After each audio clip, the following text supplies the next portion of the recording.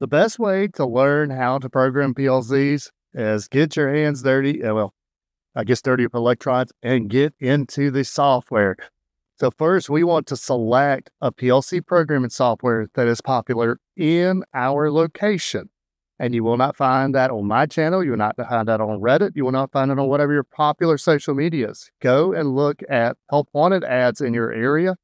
Go and talk to people who are already working in the industry in your area. But then find a free download of it and go ahead and install it and open it up and start working with it. Eventually, you're going to need some hardware, but just start going through the instruction categories and start understanding what those instructions are. When I say understanding, that doesn't mean that you know what the acronym means.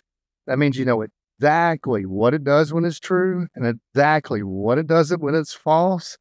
And you understand it inside and out. And once you understand that instruction, you go to the next instruction. Once you've got all those categories done, go to the next category and keep doing that until all of a sudden you're going to hit a spot where you're going to be like, well, I don't know what this instruction would even be used for. Okay, now we need to go figure out how we can use these. And yeah, there's where Google can be your friend. The control forms can be your friend. But yeah, you want to find practical applications that you would see these used to.